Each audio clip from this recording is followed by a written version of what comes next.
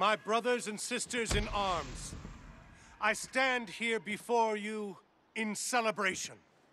The end is nigh. Captain Curry has been working non-stop, assembling and training our army. Lieutenant Whitaker has been working tirelessly on a biological weapon that will allow us to kill hundreds of freaks at once. Lieutenant Weaver is working on a chemical weapon that will allow us to burn down entire hordes. Soon, slash and burn will be a thing of the past.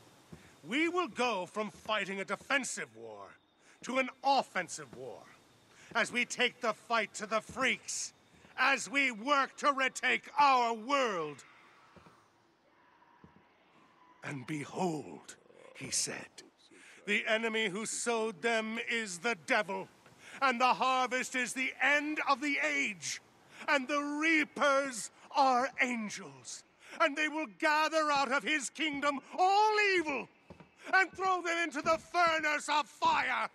In that place there will be weeping and wailing and gnashing of teeth.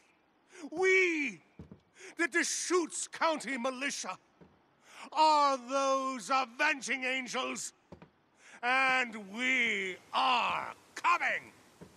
Company dismissed.